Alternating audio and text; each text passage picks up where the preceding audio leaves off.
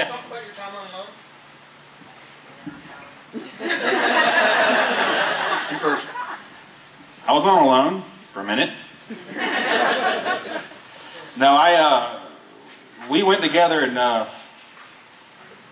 it was a lot of fun, I'll say that. It was, because at the time when, when we went to do this, we got to Vancouver, we knew there was a little cash prize. They said there would be some kind of a cash prize. We had no idea there was a half million dollars at play until we got there. And it kind of stunned us all that there was that much money involved. Um, we were all looking forward to it. And, you know, unfortunately for me, me and uh, me and canines have an issue. Me and dogs do not get along. He's witnessed it firsthand. I can attest to that. They hate him. We've been in traffic and dogs in the car and they look over and see him and they're like, ah, Yeah. trying to get through the glass. We were in Las Vegas, driving down Las Vegas Boulevard, and he's laughing. I'm like, what? He's like, look out the window. There's a German Shepherd over there just all in the glass, He's bark teeth are hitting the glass, and he's just losing his mind. and he's looking at him. Yeah, looking right at me. We were at a we were at a gun range in Las Vegas at an event for the SHOT Show out there, and these people come in with a German Shepherd, and as soon as it saw me, it started barking and raising hell. And they're like, "Whoa, we're so sorry, we don't know what's wrong." I'm like, "It's not your dog. Your dog's fine. It's it ain't gonna bark at nobody else. I promise you." And I turn around, and we're standing there talking to Marcus Luttrell and people like that, and we're talking, and just a few minutes later, I'm like, "Oh!" He's on my leg. He's biting the hell out of me. And, uh, It got it. I saw it coming too. I couldn't warn him. I didn't have time. I was like, oh, he got it. I saw the smile. Tourniquet, tourniquet. I should have went, but I didn't. So when we were on, uh, when, when, when I was on Vancouver Island, I had a pretty decent place, had a nice shelter set up. I was comfortable, I was good to go. And on the second night, three wolves came into my camp. And I don't mean three wolves walked into my camp and I saw them. I mean three wolves came crashing down this ridge. They were fighting, fornicating, killing something. I don't know what they were up to, but it was loud and uh, and they got really really close, like within like 30 feet of me close, and uh, yeah, I was terrified because I know what me and dogs do, and I'm like, if once as soon as they realize I'm here, I'm done. I'm laying here in this take home sack, you know, they're gonna grab this sleeping bag and away I'm gonna go. Um, and so yeah, I, that caused me to tap. Now. If it happened during the daytime, would it have scared me? Absolutely, yeah. Maybe not as bad. Maybe I'd have stayed around. But um, I know what me and dogs will do, and I didn't need to stick around to see. You know, I'm sitting there going, I could be home writing damn books. I'm getting the hell out of here. You know? um, but yeah, that was that was my adventure on Vancouver Island. It didn't last that long. And I remember when the boat came to get me, and I was talking to the producer. I'm like, man, I said, I can't believe I'm the first one out. And he goes, you're not. And I went, oh, thank God. I was like, yeah. But for someone that had a little bit more time on the island, just a little bit.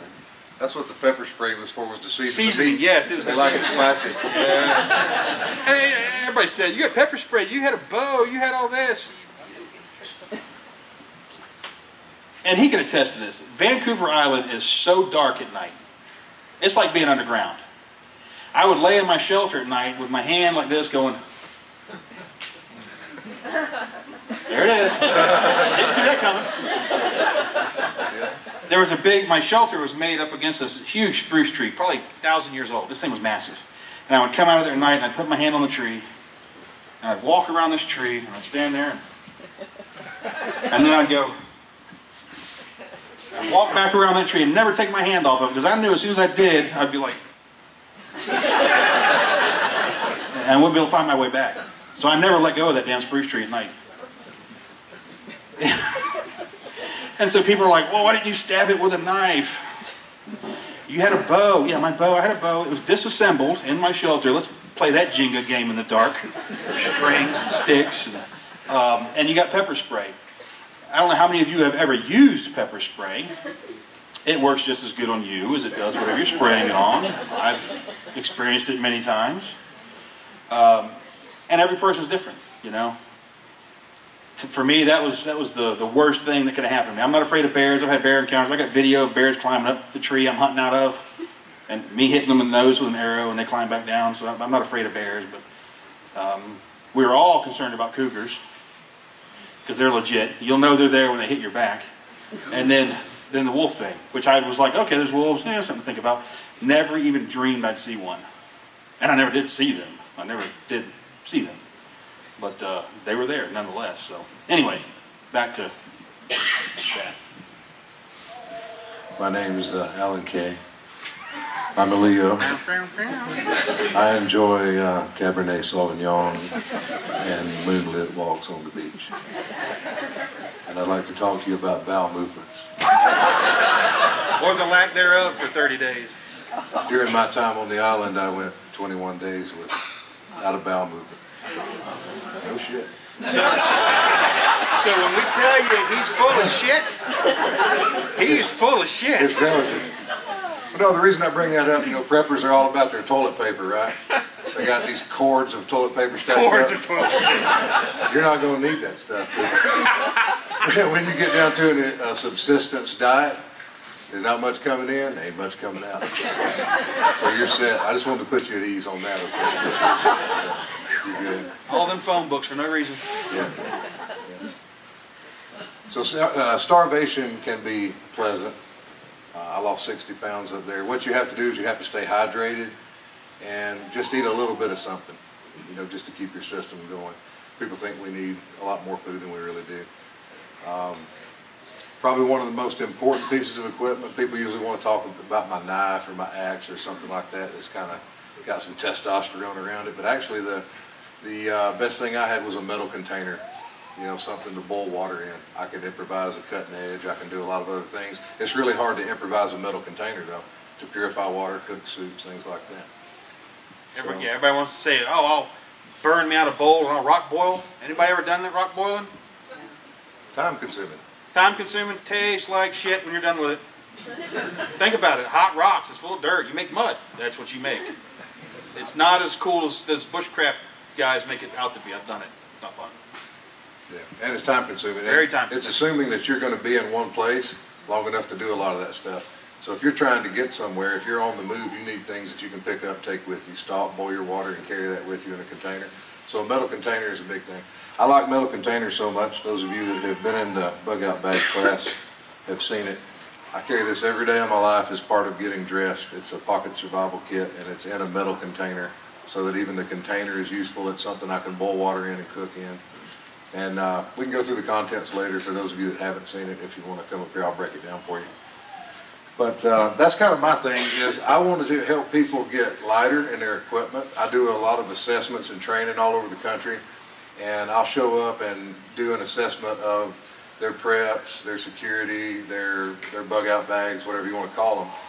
And so I'm looking at a lady, and she's 70 years old, and she's got this big, huge rucksack that looks like a Marine Corps Expeditionary Forces 10th rucksack. mountain unit or something, you know? Yeah, and I'm looking at that, and I'm looking at her, and I'm thinking, yeah, she's not going to ever be able to carry this. My pack weighs around 15 pounds, so focus on what you really, really need. What's going to kill us first, statistically, is going to be hypothermia. Okay, you're going to be out there. That can kill you your first night out. You need to learn how to guard your core temp. Okay, that's the main thing. You got time on food. Most Americans have plenty of time on food. You ain't going to die, okay? Yeah, yeah, you're not going to die from that. So you want to maintain that core temp, and you want to stay hydrated and keep your mindset straight. If you can do those things, you're going to be okay. So I, I tend to build my equipment around, you know, what can I do, like as far as a shelter sheet, something that's going to protect me from wind, from rain, keep me dry, keep me comfortable. I do need to sleep. I mean, you need to, you need to be rested so that your mind's operating well and that you're making good decisions. And you need good clean water and a way to carry and purify that. And so, like Chris said, you know, the uh, in America we tend to be very material driven. We're all about the stuff, but it's really about the knowledge. Those of you that have done the weed walks with me realize that just on this property, we didn't even have to leave the property. We found soap, rope, fire making materials, containers, medicine, and a bunch of food. So a lot of it is knowledge. It really is. So that's why I really don't carry a lot of food in my pack. I'm not going to starve because, I mean, I can eat pretty much anything out there. I've seen me do it. I'll eat whatever, like literally. Yeah, for Yeah. real. Stuff that even maggots pass on. They're like, nah, we're good. Just cook it well, you know, burn it, it'll be fine. But, uh, so yeah, try to keep your packs light. And, and it, as we were doing the bug out classes, I would ask people, okay, so who has their bug out bag with them in their vehicle? And like 98% of the people did not have one. Or if they did, it was at home. So our, our equipment should be carried in our vehicle because how did you all get here today? You drove here, right? So your vehicle is going to be your closest resupply point. No matter where you are, chances are you drove there. And since you're mounted, since that vehicle is, is the beast of burden, it's carrying all that weight. So in my truck, I've got six gallons of water in there behind the seat. I've got a full med kit. I've got two or three different rucksacks. I've got all kinds of good stuff in there because the vehicle's carrying the weight. But when that switches and now I'm dismounted and I'm on foot and I'm trying to get somewhere, I'm going to get much, much lighter. And that's what that one small bag that I carry is for. And I would encourage you to really explore, A, have your, have your stuff with you. And just like with the weapon retention class, I asked people, how many people here carry? A lot of hands went up. I said, how many people have it on you now? Eh, it's at home, it's in the car, it's in the glove box, it's in the purse, it's this to that. It's no good if it's not on you. You have to make this part of your daily life. This is not something you're just going to put up and use later. It needs to be something that's part of your modality now. When I get dressed every day of my life, I put on a med kit, a tourniquet, a survival kit, a knife, and a firearm just to check the mail. That's just, if I'm dressed, that's part of what I put on. Uh, I, I, used a tourniquet once. First time I used it, I was at a Dairy Queen minding my own business, eating an M&M Blizzard. And it was summertime and I was outside under the little table with the umbrella and witnessed a motorcycle get T-boned. The guy's leg came off from the knee down. It's like, boom, problem. So it doesn't have to be some apocalyptic deal. Uh, Sam Splint, first time I used a Sam Splint, high-tech ninja training was on a three-year-old in Chuck E. Cheese. I had him up on the table. My son had a tib-fib spiral fracture, which I didn't know but suspected some kind of break. Fashioned a cast out of it right there on the playground with everybody running around because I had the med kit with me. Okay, I've come up on car wrecks with people that needed help, used the med kit for that. Uh, my daughter, when she was about two, sucked a little plastic bead into her nose, and I was trying to get her to blow it out, but every time she kept sucking deeper. And so I'm thinking, okay, what do I do? And I had, I was giving her pepper, and then she sneezed, and a long train of pepper encrusted stuff came out. But the, the little green bead was still in there, and I couldn't see it. I had one of my other kids tell me, yeah, it's in there for real. We saw her snort it down. And I'm thinking, if she sucks it in, it's going to block her airway. She's going to die. So I cover her mouth, cover the, uh, cover that nostril, and then the, the, open nostril and blew into it really hard through that hole next to her mouth and that jet of air came out and shot out the little green bead along with about that much phlegm that came and stuck to my face. But either way, see all this medical stuff that we train for, when I'm training for it, we're out there and there's guns going off and we're in camo and we're thinking, hey, we're going to do this and it's going to be some big thing. That's not how it plays out. It's kids on playgrounds, it's car wrecks, it's motorcycle wrecks, it's stuff like that. Uh, my mother had a kidney stone, came to my house. She was ready to go to the ER. I treated her with a plant, Pipsissewa. She never had to go anywhere. The kidney stone, done. Just last, well, two weeks ago, my father-in-law uh, was bitten by a brown recluse spider right between his shoulder blades. Uh, I treated that, and he was having some deep pain and started to see a little bit of the necrosis happening, all the signs that are indicative of that. And uh, so using the inner bark of a plant, seven bark, also called wild hydrangea, treated that. And so, I mean, we're, this is stuff that I use all the time, every day.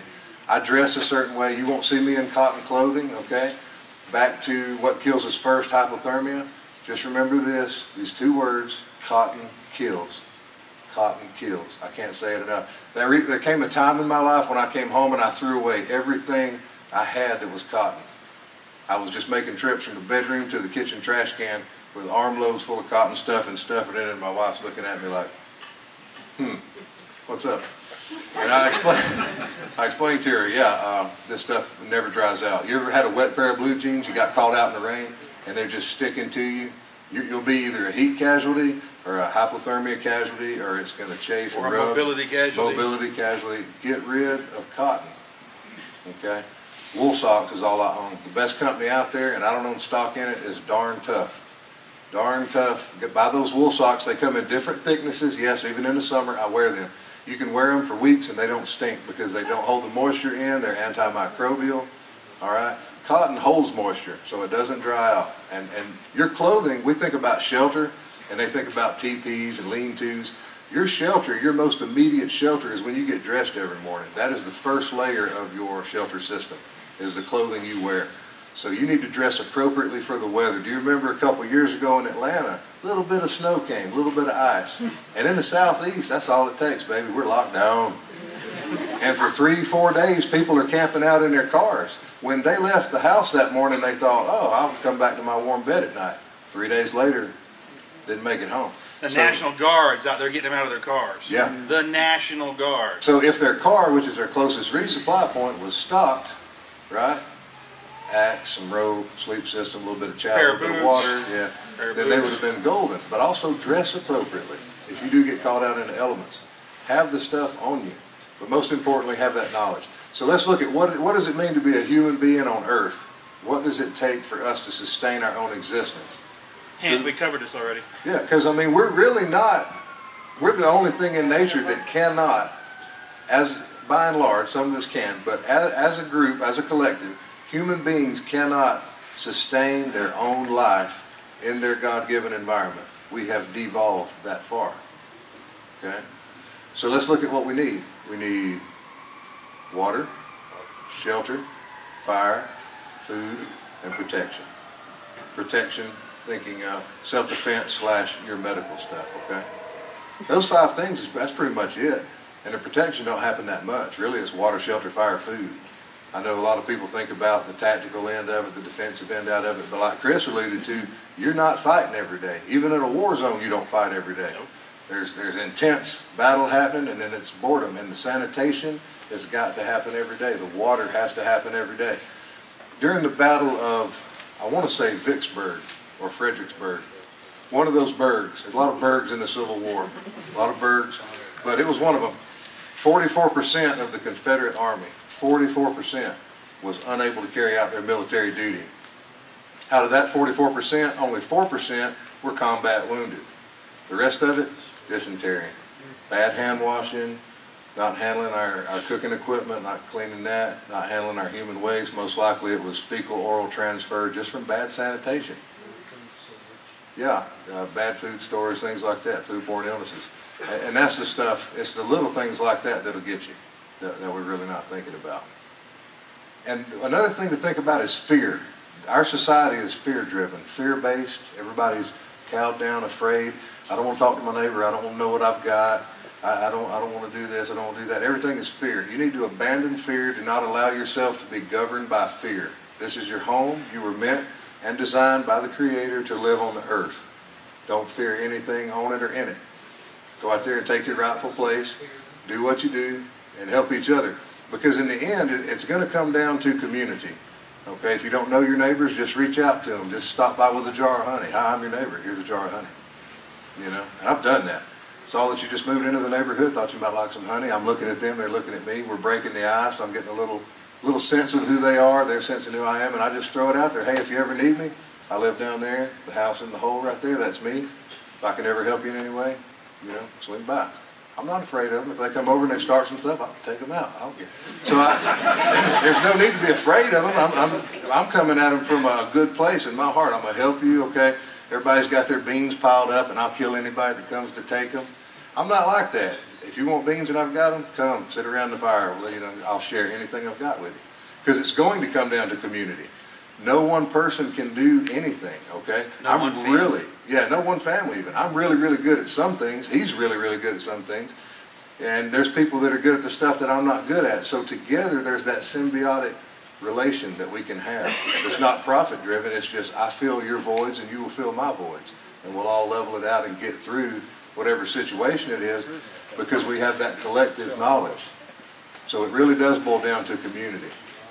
So, you know, don't overthink this stuff and don't get overwhelmed about it. I see a lot of people driven by fear and they think they've got to have tons and tons of stuff. Sure, you should have some food storage. Sure, you should have a weapon and all that, but the main thing is knowing how to use it. I would dare say 99% of the people in this country carrying weapons do not know how to use them in a real world situation, under stress, being attacked with it. Carrying a paintbrush does not make you an artist. Okay, it's just an inanimate object. That's all it is. Ultimately, you're the weapon. You're a modular weapon system. So you have to, you have to train yourself. You have to take care of yourself mentally and spiritually and stay right that way, and the rest will fall into place.